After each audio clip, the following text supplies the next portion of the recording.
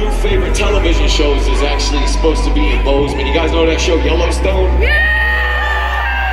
This shit's sick as fuck. This guy's like, fuck yeah, that's my shit. So uh, we got this song called Crazy. You guys know that song? That song's about all the crazy shit that we've gone through in our lives. We wrote about it hoping that you guys would listen to it and be able to relate to all the crazy shit that you guys go through in your lives. If you know the words to this song, sing along with Danny.